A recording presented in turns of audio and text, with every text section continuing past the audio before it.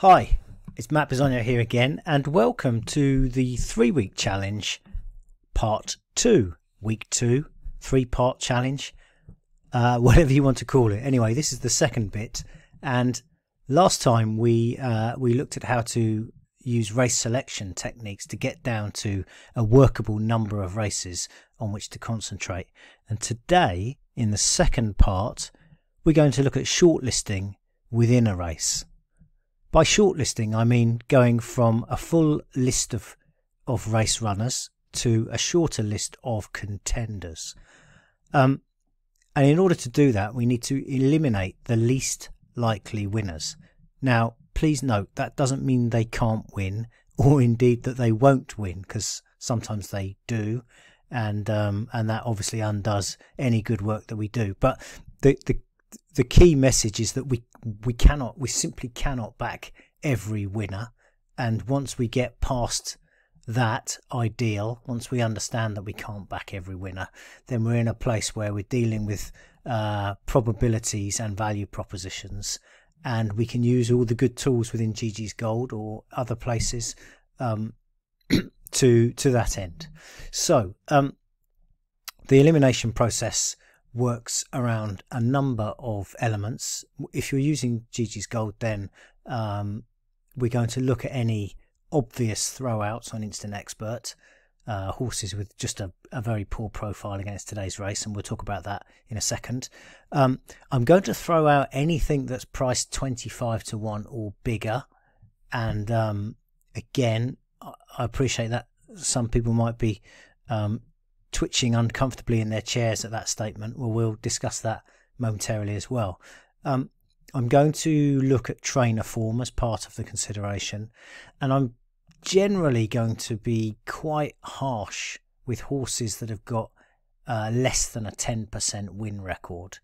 Um, because the races that we're looking at mostly are exposed form handicaps, um, and uh, you know horses really horses that I want to bet um, have a slightly better winning habit than than that. Um, once we've done that, we'll still have probably quite often quite quite a long short list. Um, so we still need to go a little bit uh, more deeply into things like the pace, individual horse form, um, report angles, and various other elements that we'll um, that we'll touch on in a second. Um, importantly, the depth that you that, that you delve into this, how much time you spend on this, depends on how much time you've got and how much experience you've got, um, and how much or little you enjoy the form study process. Um, I'm assuming that if you're watching this, you do quite enjoy that process, and you've got at least a little bit of time. And so, I'm going to, um, I'm not going to shortcut this particularly. I, I mean, I, I will show you the things that you can do, let's say, in five minutes. But um, I would encourage you, if you're serious about this, to to spend a degree more time looking at these elements on uh, a very short list of races that you've already done in stage one. So you may only have a couple of races to look at. And in this video, we'll look at a couple of races for different reasons. Um, but before we do all of that, I want to return to the key theme of this three part challenge, which is the price is wrong. And I want to illustrate the amount by which we have to beat the starting price to show a profit. So I've got a, an Excel spreadsheet here and it's actually an export from Query Tool of the last five years UK racing um, uh, runs and wins by odds. Uh, so what? There's, nearly half a million runs in here and about forty-seven thousand uh, wins. Um, so there's there's quite a considerable amount of data in this little table. And what I've done is I, have I've separated out each odds bracket uh, into their implied win percentage, which is the first sort of beigey orange column, and their actual win percentage, which is the second beigey orange column, column G, um, and a done some differential calculations there. Now let me explain what I mean here. So um, let's use the odds of evens one to one because that's a nice simple one to use. Um, we can see that the implied win percent of, of an even money chance is 50%. That is to say, the true, the, the, the uh, in a coin toss, each side of the coin uh, has an even money chance, a 50% chance. Um, on the basis of 1,540 actual runs, of which 675 of them were winning runs, the actual win percentage was a shade under 44%. Um, and so the point here is that the odds the bookmakers offer are not the true odds that a horse has of winning. They're not. They, they don't represent the true chance because, of course, bookmakers have to factor in their profit margin, and they do that at every price point. Um, the two columns to the right, column H, actual versus implied, shows the um, the percentage difference, I guess, between the actual and implied win percentages. So if we go up to one to two, um, and I, have removed all the uh, the shorter prices than one to two because they were smaller sample sizes. Um, if we go up to this one to two, we can see that the implied win percent is uh, 67%, and the actual win percent, 261 wins from 414 runs, was 63%. So one to two chances win 94.5% as often as we might expect them to win um, as the implied win percent. And by the same token, in the last five years, even money chances have won only uh, 87% as often as um, we might have expected them to win. So now what you can see in this column H probably is that there's the numbers sort of jump around a little bit, um, particularly actually this even money uh, figure, which which is a kind of an an outlier by the look of it. So what I've done is I've I've put this IVAD3 um, column I. Don't don't worry about the uh, catchy title. Essentially, what it's doing is it's averaging uh, the the the actual the, the odds in that column with its nearest neighbours. So, for instance, if we look at um, even money, the average of 10 to 11 evens and 11 to 10 we can see down here hopefully is 91.57 and that's the number in here. So that just kind of smooths the curve a little bit. Um, if we go down to slightly bigger numbers so we can see here we've got 2 to 1 which has a 33% implied win chance um, and on a much bigger sample size than the even monies we can see that the actual win percent was was nearly 31%. So there's not not huge disparity there actually, and that um, so two to one chances of winning 92% as often as we would expect them to win, um, and with with their immediate um, neighbours, it, it, goes up slightly more to 90, nearly 93% um, as often. So what that means is that at these price points, we've kind of got to we've got to beat an SP of two to one by about 8% um, to make a profit. And if we look at the actual win percentages here, we can see that 13 to 8 is 36%, 7 to 4 is 34%, 15 to 8 is 34%.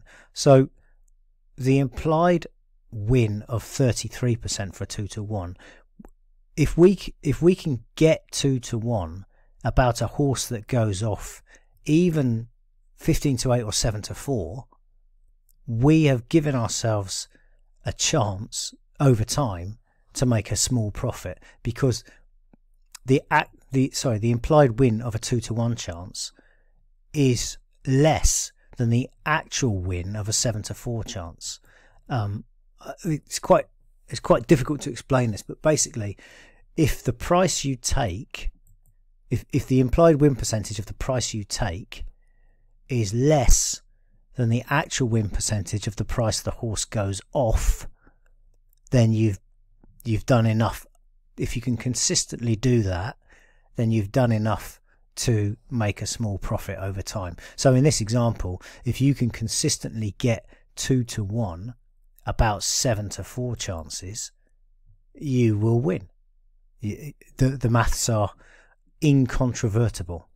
Um, what I want to show you also is that the further away from kind of the sharp end of the market you go, uh, the the more difficult it gets to to to beat to beat the book essentially. So if we look at nine to one horses with an implied win percent of of ten percent, they actually win at slightly less than eight percent. Um, and you've got to, to, in order to get a ten percent actual win, you've got to get up to about fifteen to two or seven to one. So if you're backing at nine to one, you've got those horses have got to shorten a couple of points to SP consistently for you to just chisel out slightly better than break even. Um, and the further down you go, here's a 25 to 1. The true odds of this are just shy of 4%. Um, you've got to be getting up to about 18 or 16 to 1 about your 25 to 1 chances to make a profit. Uh, and then down at the 100 to 1 mark with an implied win percent of about 1%, they are actually winning at about a quarter of a percent. So 100 to 1s are winning at approximately 1 in 400. Um, and you've got to get up to probably 40 to 1. Your 100 to 1 shots have got to win, uh, have got to be sent off consistently around about 40 to 1 in order for you to beat the, um, the percentages.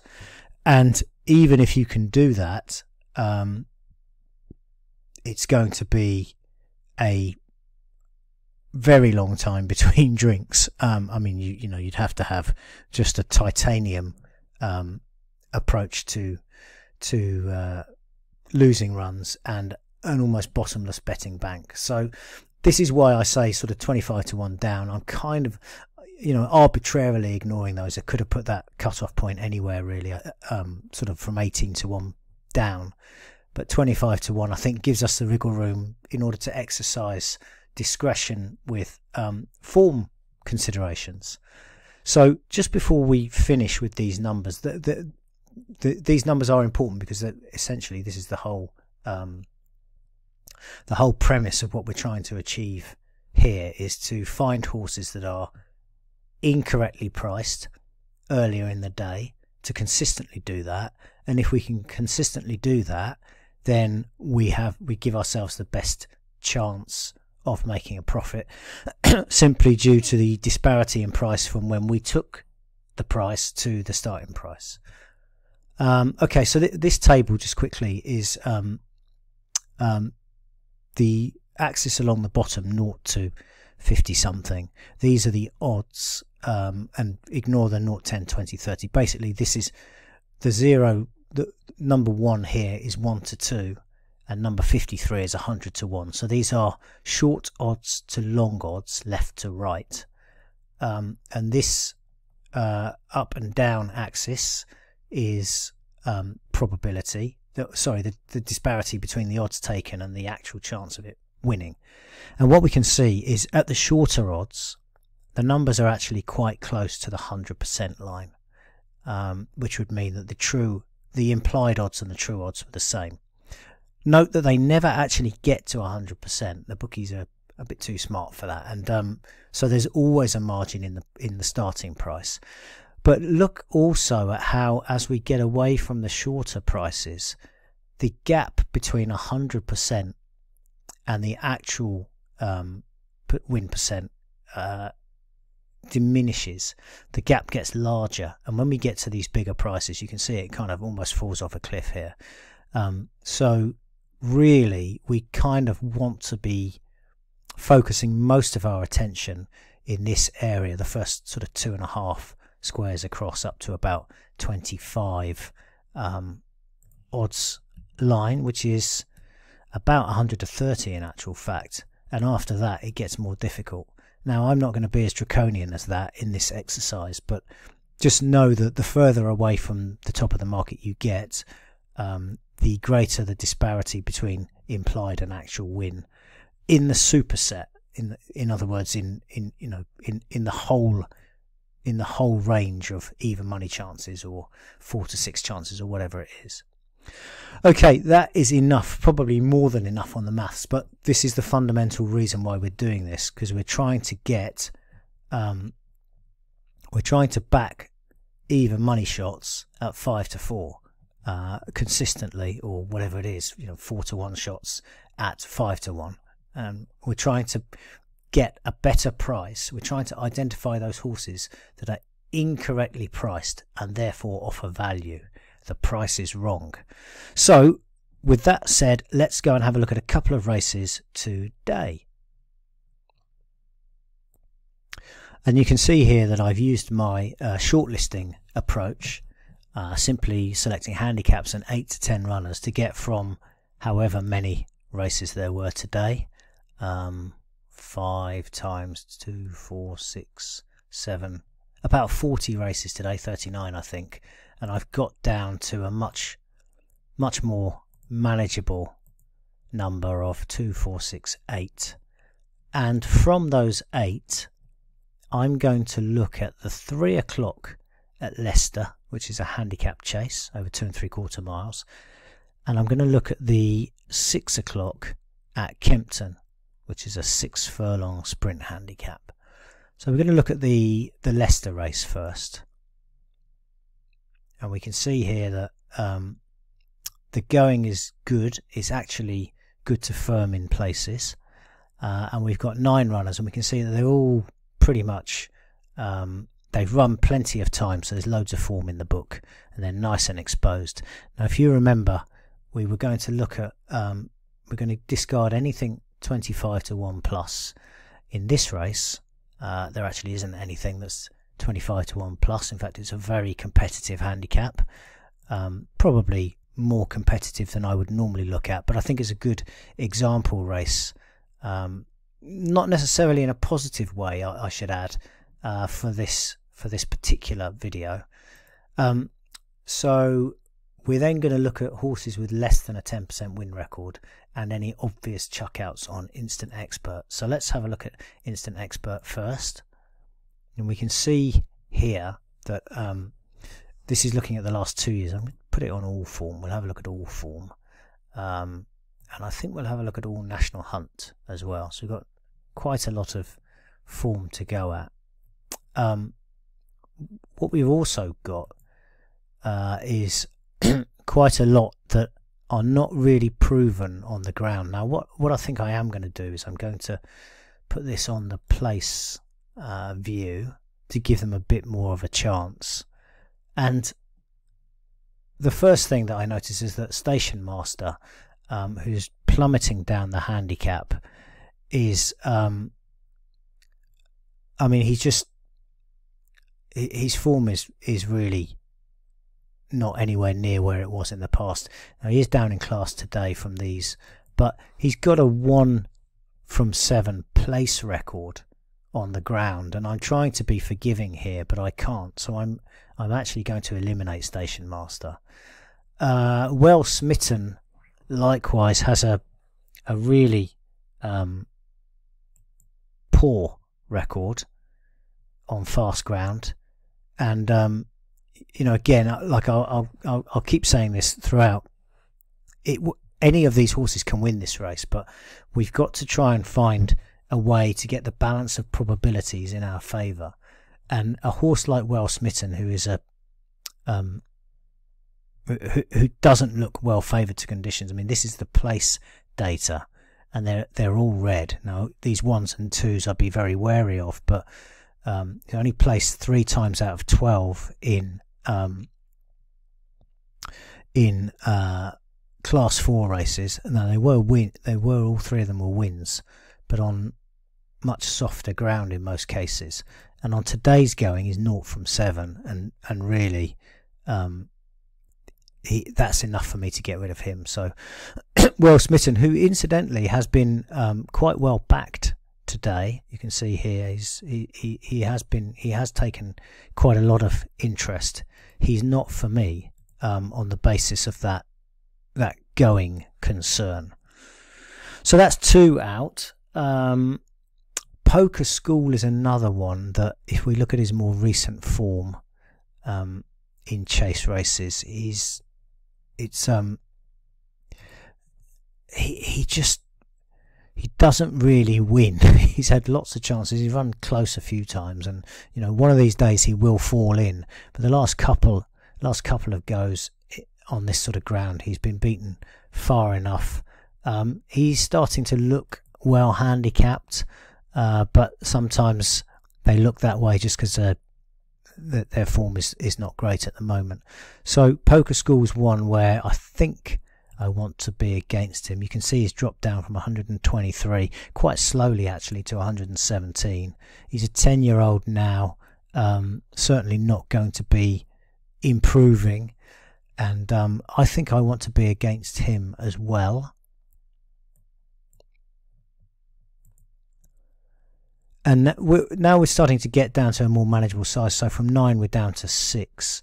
Um, there's a couple of others that I'm not I'm not a fan of. Now, bought before lunch has been really well backed today. He might be the, the, the best backed horse in the race so far at the time of at the time of recording this. But this horse is a serial loser. Um, he's won one of 20 career starts. Third, second, second, second, third, second, fell, third, eighth, second. I mean, this horse is expensive to follow. And, you know, again, like he, he he's running close in some of these races, but for whatever reason, be it misfortune or um, lily liveredness, he's not getting it done. And um, these are definitely the ones I want to be against. So he's got a 5% win record in 20 runs. Um, even if he won today, he'd have a 9 point something percent win record. So he's just, um, again, you know, he, he can win, but he's a 4 to 1 chance and he hates winning, ostensibly at least. So he's the sort of horse that I you know, at the top end of the market, I'd always want to be against a horse like that. The other thing to say is that his trainer, um, Paul Webber, I mean, you wouldn't, you know, like recently, his his place rate is is decent, twenty eight and forty three percent.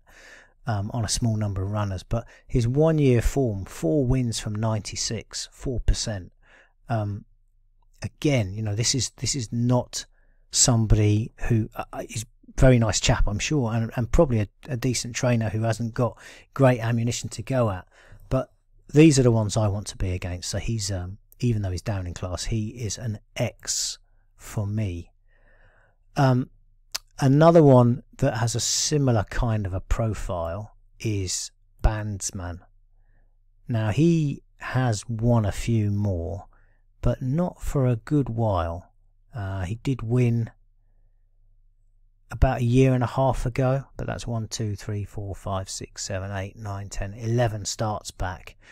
Um, he hasn't really dropped down the handicap a huge amount since then, and I just um, I wonder if he, he's had a lot of racing, and I just wonder if he if he still has quite the same affection for it.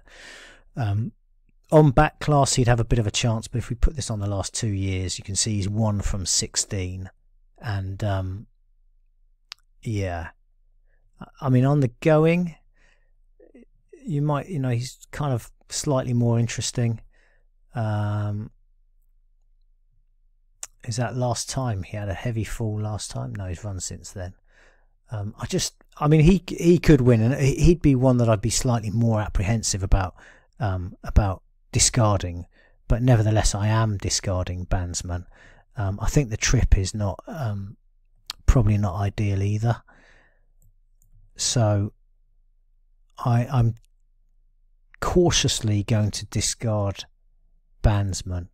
Now this is basically my shortlist. Now I've got um, I've got four horses in the race that I'm actually interested in potentially uh, betting. The first of them is um, Cage of Fear. As you see, he's got a report angle here for um, a front running jockey, but I don't think he's going to be a, a front runner today. I think station looks like Station Master will go forward. Cage of Fear will be ridden more um, cagily, maybe. Uh, you can see that this is his grade. He's finished second and first in this grade. You can see that the ground on those occasions was this sort of ground. Market Rasen, it was this sort of trip. Um, he carried 11.7 in those races, so not a million miles from today's 11.8. In fact, very close.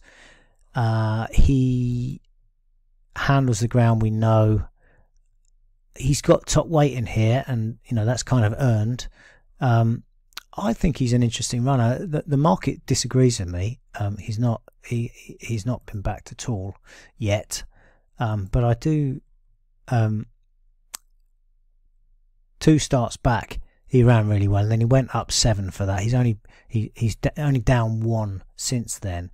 Uh, he's taken a slight drop back in trip, which is interesting. Maybe didn't quite get home at Carlisle in a better class race. That was a class three. He's back in class four today.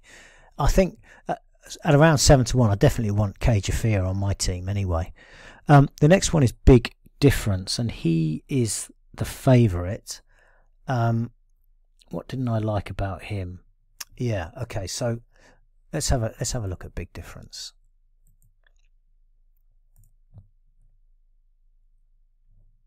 He's not had many goes. In fact, he's only had five goes, and he's won one, and he was placed on another occasion. Uh, that was a handicap hurdle he won. Um, hang on a minute. There we go. He's had a few more goes than that. He's had nine goes, um, five in the last two years.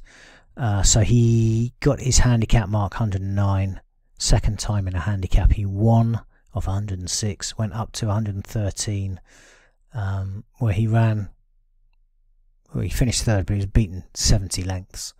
Um, then this year, fourth at Ludlow, pulled up at Bangor over a trip that might have been too far, three miles six, back to two miles seven at Taunton, where he nearly won, stayed on at the last. Um, he's dropping back a little bit, well, probably about the same trip in fairness as Taunton, um, and he wasn't beaten very far that last day. That was on very fast ground as well, which you'll encounter here. So um, he he has got a fair form chance. But one of the things that I noticed about this was that this last race he ran off 108, and even though he got beaten, he's running off 114 today. So he's actually gone up six pounds in the handicap for getting beaten. Um, and that's obviously not not going to make his life any easier. Now, of course, he can win, and um, he's definitely a danger and potentially a saver. So when we come to talk about um, bet selection in part three of this three-part series, he'd be a horse that we that I would potentially be looking to um, to kind of get my stakes back on horses that I backed elsewhere in the race. Um, seven to two, I can let him beat me just because I think even though he's kind of unexposed, um, he he didn't really deserve to go up six for getting beat last time, um, even though there was presumably a fair fair distance back to the rest of them that day. 14 back to the third.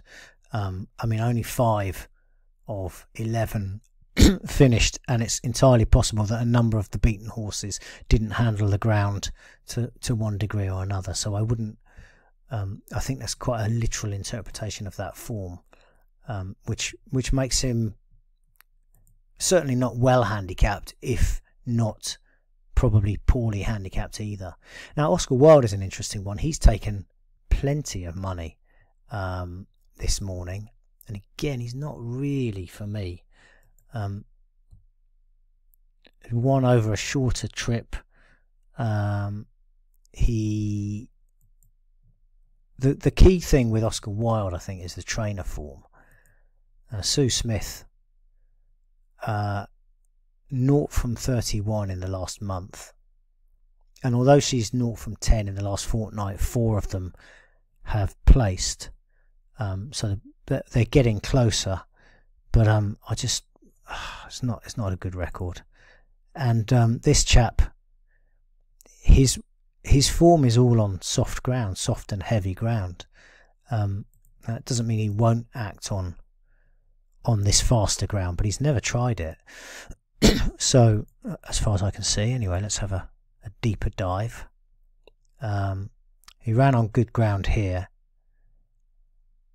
and he was beaten far enough. Ran on good soft here, beaten 13 by a good horse.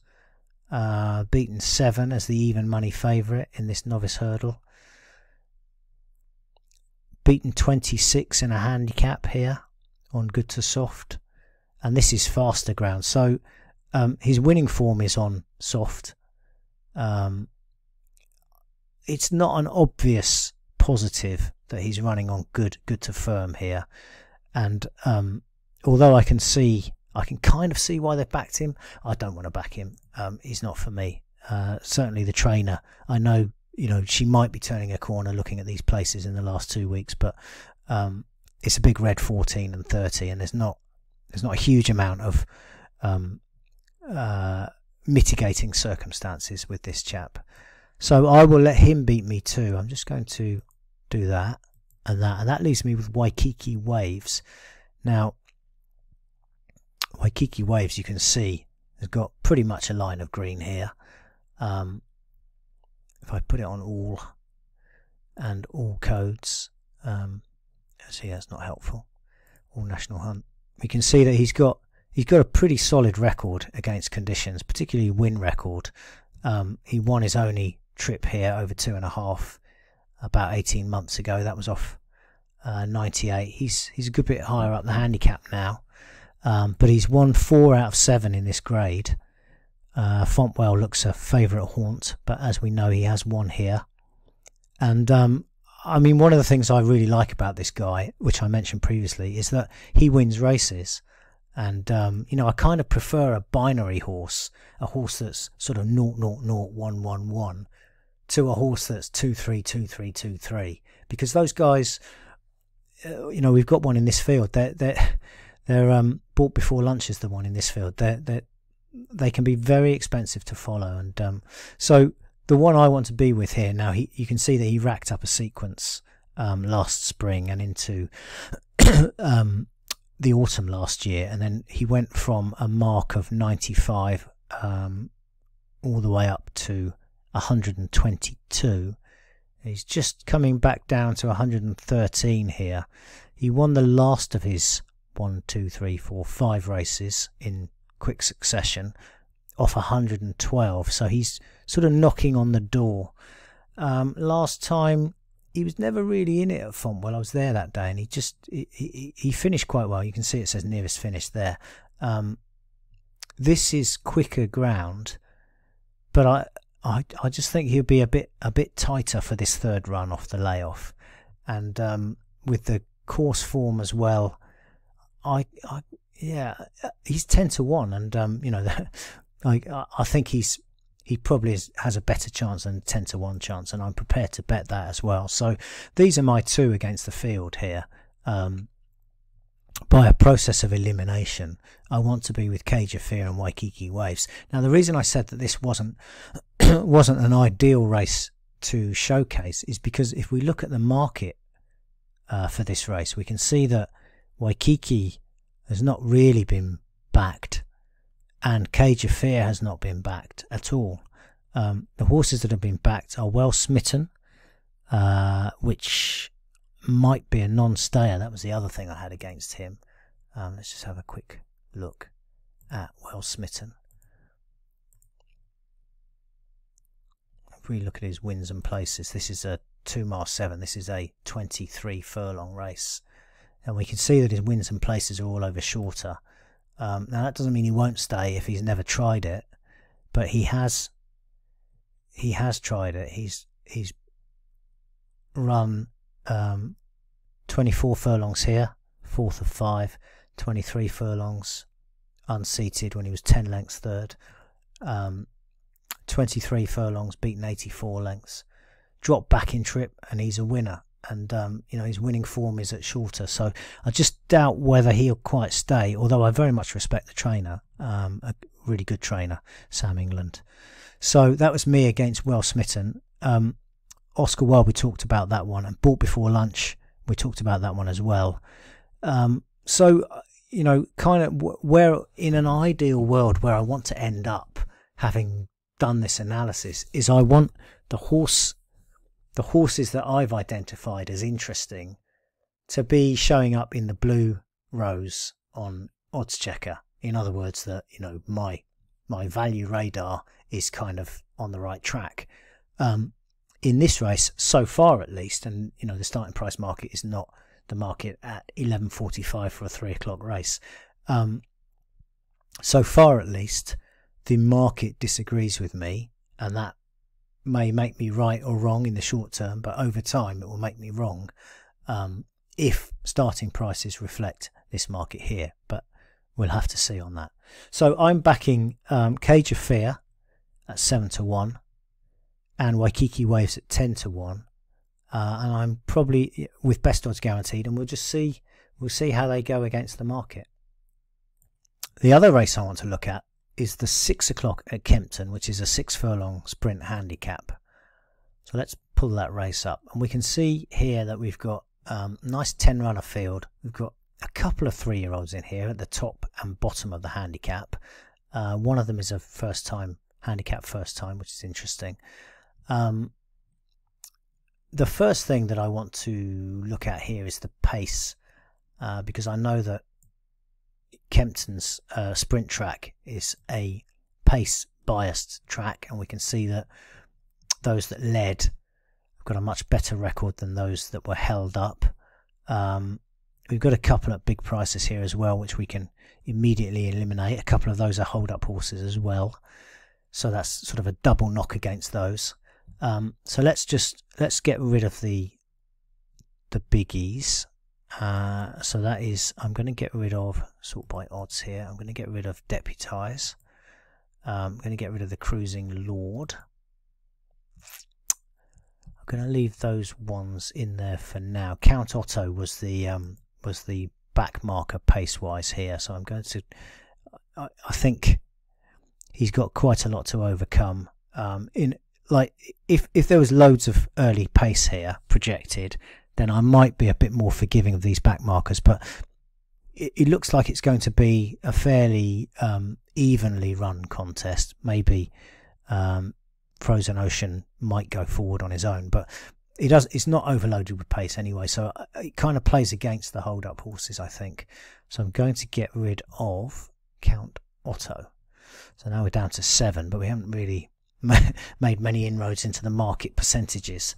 Um, let's go to Instant Expert next, and we can see that we've got uh, a couple of horses with no equivalent form, no um, relevant form against today's profile. Now, one of them is a handicap debutant, and this is I've set it up with handicap, so that's why um, Frozen Ocean shows that way. Jonah Jones, I'm not too sure about that one. Let's have a look at him. Okay, so he's been running on turf, um, and I think potentially has not yet run on the all weather. And that is affirmative. So we can see his all weather record is 000.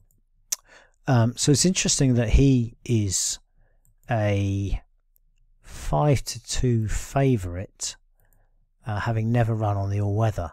Um, now, Kempton isn't isn't Southwell, and it it won't necessarily stop him from winning the fact that he's not run on it before but but it is an unknown and um, all unknowns need to be factored into the price um, other things that need to be factored into Jonah Jones's price is that uh, he's been running in he's been running very creditably in much bigger fields and all of these races are on straight tracks Doncaster, Ascot, York, York, Ascot, Haydock.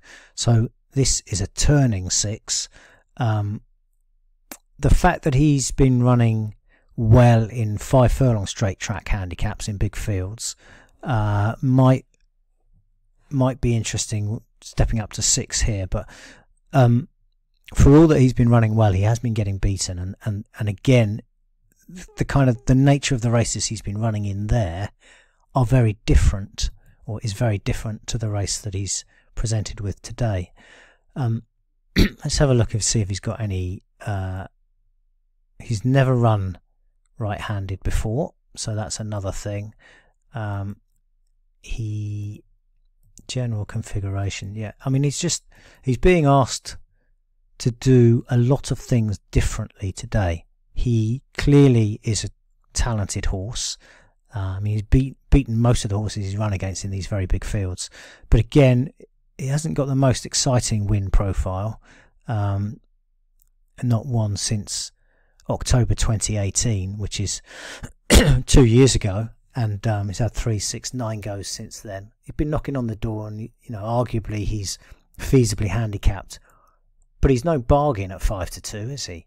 Um, even dropping down in class. So uh, I'm going to, of course, he can win, but I'm I'm I'm going to be against him at the price. Um, I make him a bigger price than that. So what have we got left on Instant Expert? We've got Typhoon 10, who has had four goes at uh, six furlongs without winning, but he has run.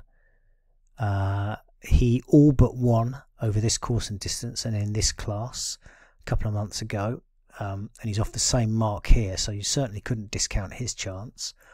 Um, I'm I, what I'm really looking for. I'm looking for the big, the the red blocks with the bigger numbers to see if I can disqualify any of those. Let's have a look at Benny and the Jets.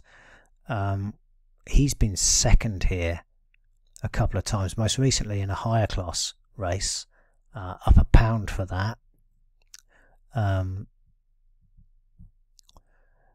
he's another who kind of knocking on the door without winning. Let's have a look at some of these um, broader form profiles, and we can see that Benny actually wins races, particularly on the all weather.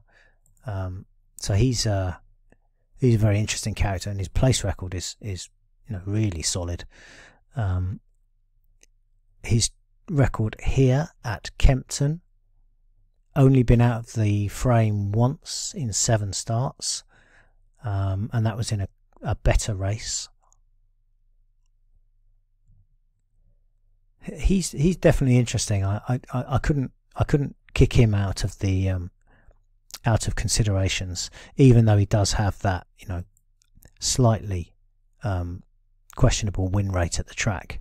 He he always seems to run well anyway. Uh, Melodic Charm hasn't done much of anything. Um, you certainly couldn't say didn't handle the track for a, a run over an extra furlong um, and, and only a single try at the track. So he's the other three-year-old in the race, I think. Um, trainer is in good recent form and has a good long term form record. And um, Total Commitment is another one I like. Um, he is coming back to form. Uh, the the run last time was over seven. Again, he's a six furlong horse, as we can see um, here. His record at six, second, second, second, fourth, first, first. Two of these over this course, albeit in lower class. So he's another one of interest. Lancelot du Lac um, is 10 now, and you can see that he's dropped a mile since his last uh, winning run on the all weather. He's 24 pounds below that, um, and that's evidenced here. You see his last win here was in November 2015, five years ago. Um, his more recent form hasn't really advertised his credentials for this. Uh, where are we? Lancelot I just put that on all. All. There we go. And you can see that he's been, although he's dropping down the handicap as we've said, he's um he's been beaten far enough mostly, and at six furlongs, um, he's been beaten far enough for long enough for him to be overlooked by me at least today. So he's he's coming out. Now the other one of interest is Frozen Ocean, first time in a handicap. Um, he's only had four goes, so he's the least exposed of all of these. He runs for Saeed bin Suroor, who um, has a very good record at the track um, and in handicaps, and first time in handicaps. Uh, not quite so good in sprint races, it should be said. Um, unusually for Saeed, he's naught from any number in the last two weeks, so he hasn't had a winner for a while. And in the last month, he's been quiet as well. Um, but I, I, I, do think his overall profile is quite interesting, and eight to one was appealing to me, particularly as um, he could very well lead in this field. He's drawn five, which is a good a good stall from which to try to make the pace. And as we can see from this green blob up here, um, leaders have got a credible chance to go all the way. So I, I, I certainly think he's um, uh, he might be a smidge of value in this race. The main problem I've got with this race, as you can see, is I have struggled to eliminate more than half of the field. And three of the five that I have eliminated, in fact, four of the five that I've eliminated, are priced 18 to 1 or more.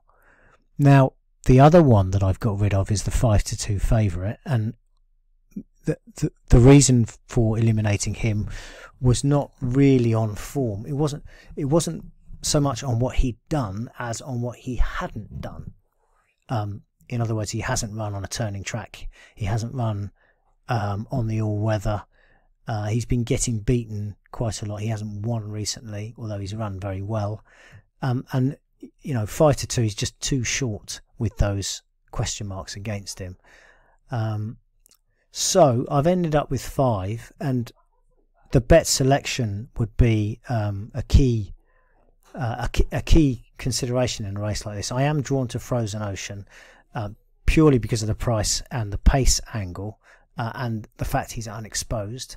So probably would back him. Um, total commitment, I think I'm waiting for him to drop in class. Melodic charm, interesting. Probably let him beat me.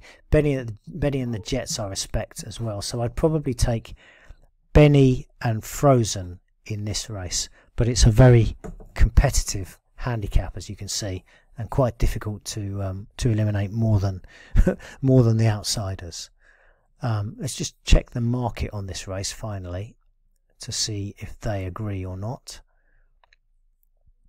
Uh, one of the challenges here is that one of the shorter priced runners is a non-runner, so um, we kind of see a bit more blue than we might otherwise see. But you can see that there's been um, some money for Frozen Ocean, although 10 to 1 is appealing and I have backed it. Um, total commitment, I do like him, but I, uh, especially from one, but I just. It, it wouldn't surprise it. It would actually quite annoy me if he won because I, I'm I'm a fan of the horse. Um, but I think Lingfield and or a drop in class might be ideal for him. Benny the Jets looks like he sure to run his race again today. Likewise, Typhoon 10. And I'm not. I, am just not sure about Jonah Jones. You can see he's kind of going out to 11 to 4 now. I, I, it wouldn't surprise me if he ended up sort of 7 to 2 or something by the time the race is off. Um, and this is the game. The game is to kind of guess which way the odds are going, which ones are the wrong price, and back those. So my contention here is that um, Frozen may be the wrong price, Frozen Ocean, um, in a in a positive way, in a in a I want to back it sort of way, and Jonah may be the wrong price in a negative way. Uh, not quite that I want to lay it, but I do think that it's probably a bit on the short side based on the things it's got to do today that it hasn't done before. Uh, Typhoon and Benny are probably about where they should be. Uh, I find melodic quite hard to peg. Um, total commitment again. You know he he's a horse who probably is about the right price.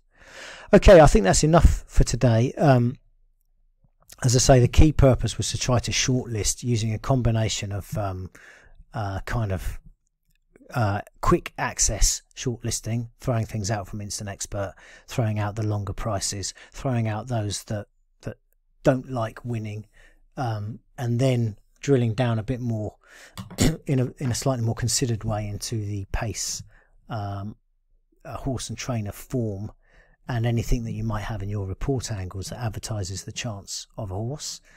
Um, and to consider after that which ones the price might be wrong about about which ones the price might be wrong. Um, and this is what I would like you to try to do for the next week or so is to from your chosen shortlist of races from the race selection part one is to try to uh, deploy these concepts in your betting. Maybe just do it for one race a day.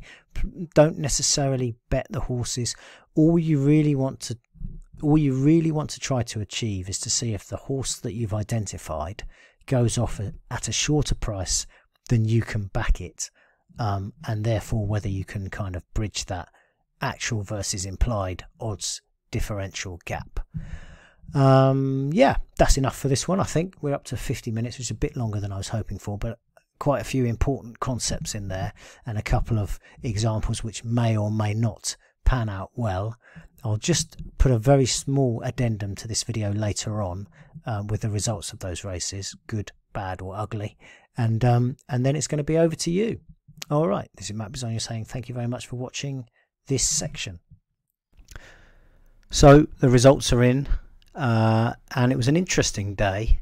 Um, probably a better day from a form reading perspective than a market reading perspective as you can see in the three o'clock race, um, where I wanted to be with Waikiki Waves and Cage of Fear, Waikiki won the race at 10 to 1.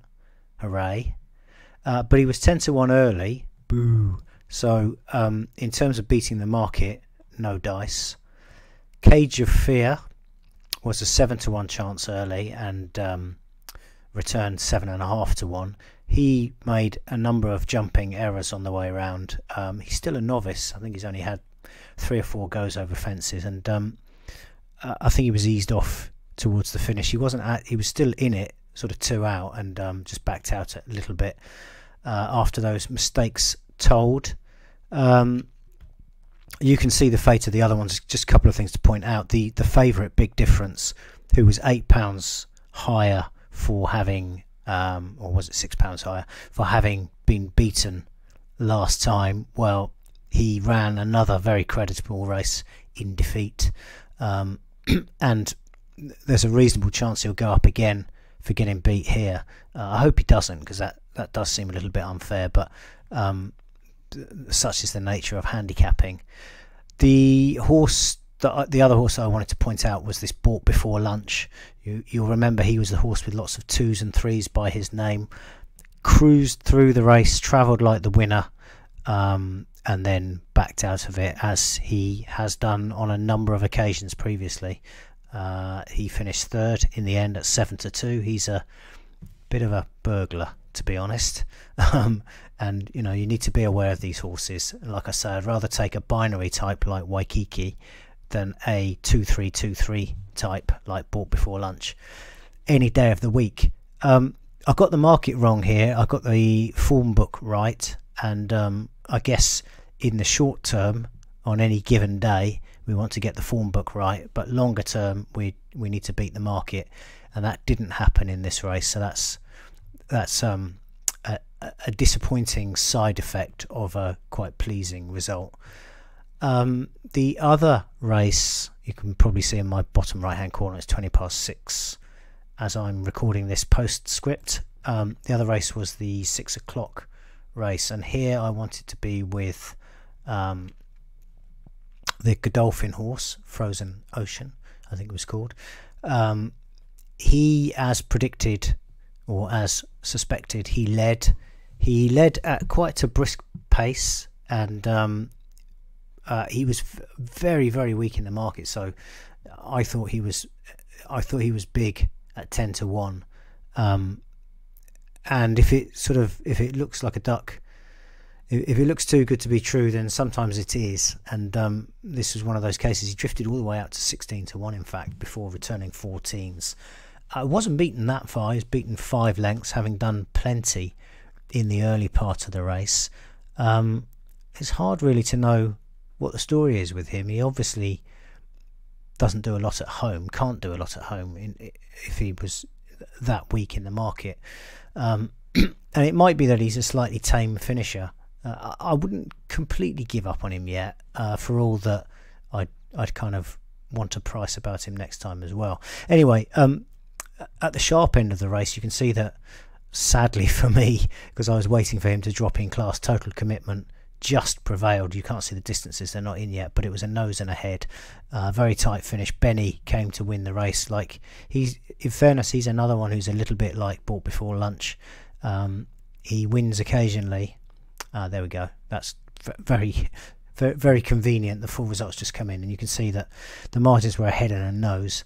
Benny came to win it and uh, just found one too good again. He just comes with the one run, and um, so another second on his scorecard. Typhoon 10, 10 ran well, and Jonah Jones, who I thought was underpriced, um, actually ran a really noteworthy race. Now, as I say, the, the one I liked did go hard in front, but Jonah was right at the back on a track that really doesn't favour hold up horses at all.